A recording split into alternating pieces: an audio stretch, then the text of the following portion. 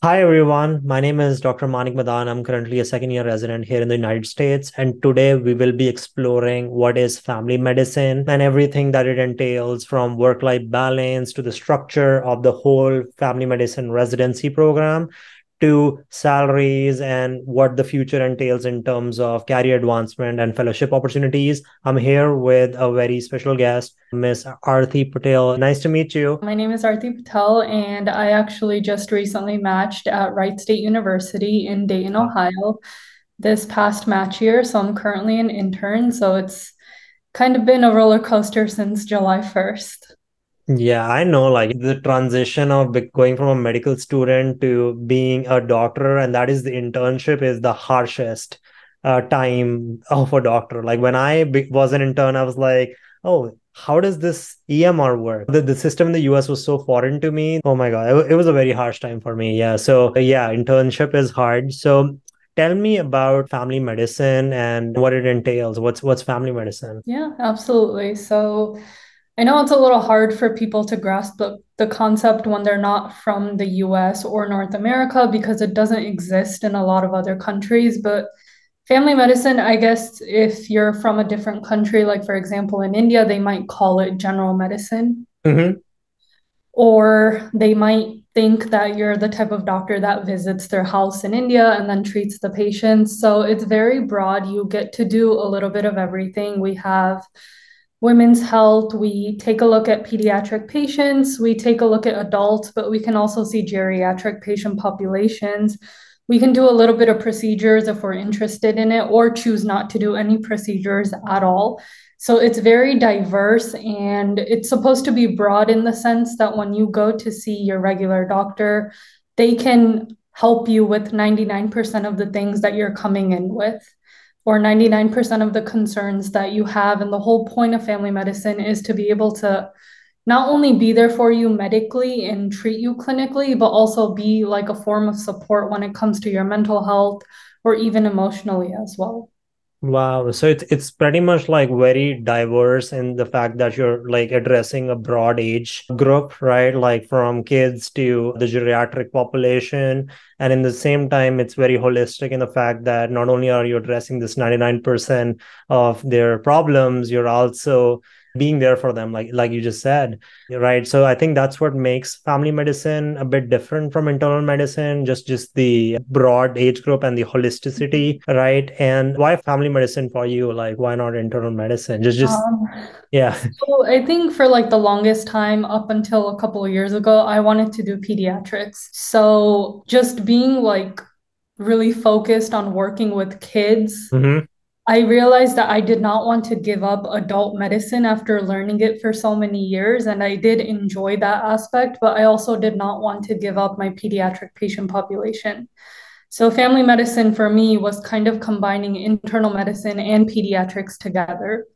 Yeah, I think that's a nice way to put it, like internal medicine plus pediatrics. Because, yeah, internal medicine could theoretically take care of the geriatric population, but definitely not the pediatric population. So, what, what's the structure like for family medicine training, at least in your university? Like, what's PGY1 like, PGY2 like, PGY3 like? And what's the total duration? Is it the constant within all universities? So, PGY1 intern year so far, I am, I guess, almost three months in, has been definitely a roller coaster. Our first year is very similar to third year of medical school.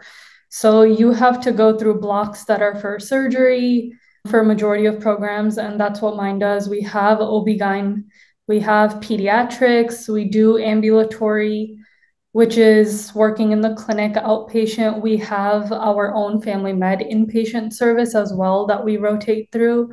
Mm-hmm. We go through ED adult and then also ED for pediatrics. So it's a lot of like repetition of what you went through during your med school rotations. Mm-hmm. intern year is kind of like repeating that entire like last two years of medical school, but the only difference is now you're actually in charge and need to know what you're doing as well. So it's been a little tough, but it hasn't been terrible. And then starting second year, yeah. we do get one block of electives. So we get to choose what we want to do for that block. And then, other than that, we do have some other blocks that are required, such as psychiatry, we have dermatology, and then we do the repeats for the ones that are highly required. So we have our outpatient clinic settings and then our inpatient settings as well. And third year, I've heard is the easiest, but also somewhat tough considering that you are now like officially the team leader. So for inpatient, even though you're not seeing one or two patients that you need to know really well, you are in charge of knowing all the patients on your list and kind of knowing what's going on with them and having like backup plans to help your intern out, putting mm-hmm. in orders when you're on rounds. And we do get three blocks of electives for third year as well. Wow, that's um, awesome. So, what percentage of the family medicine residency is inpatient versus mm-hmm. what percentage is outpatient? And how do you guys switch? I know like some programs have like two weeks of inpatient medicine and then one week they go to outpatient before they are inpatient again. How does that work for you guys? Yes. So I can't exactly remember for second and third year if the ratio changes, but currently for intern year, we have three blocks of inpatient medicine and then we get one block for outpatient clinic. But in addition to that, as an intern, every block that you're on, regardless, you do have at least one half day minimum in the clinic. Every day? every week you'll get one half day. So every, like yes.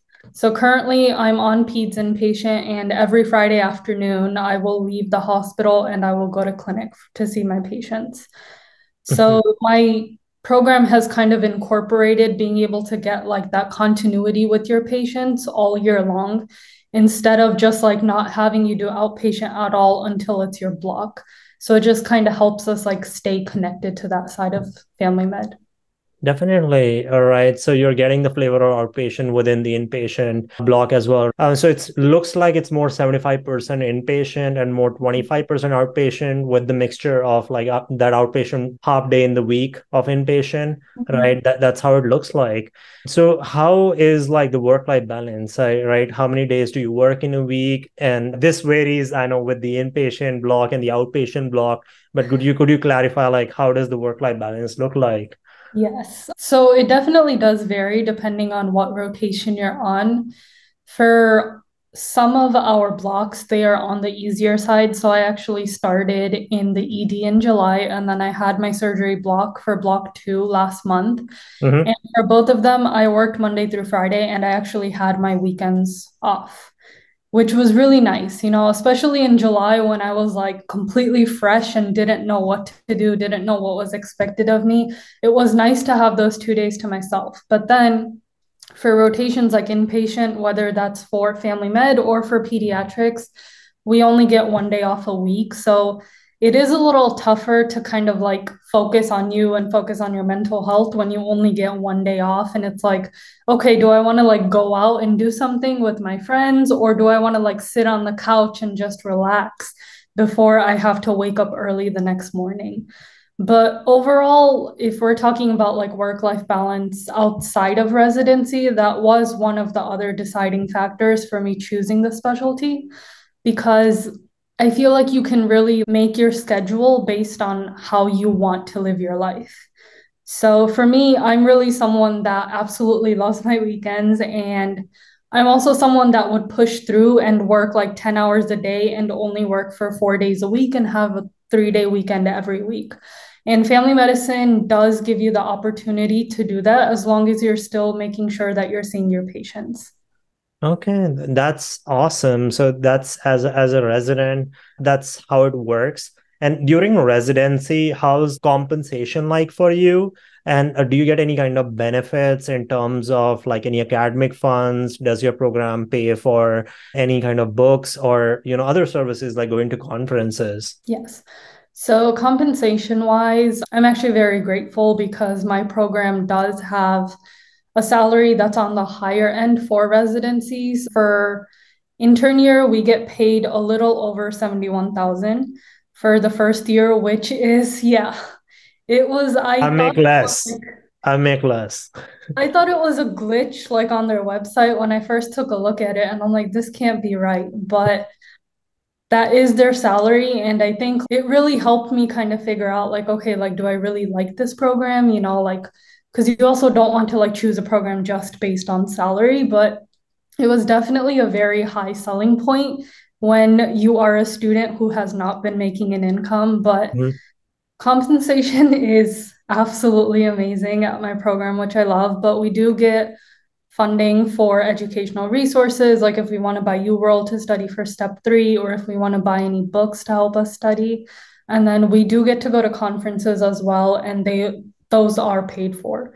And the good thing about that is that our like vacation days or sick days are not deducted by going to conferences. Okay, that that's good. So going into like vacation days and and tying it to work life balance, like how how many vacation days do you get, like or and sick days in total?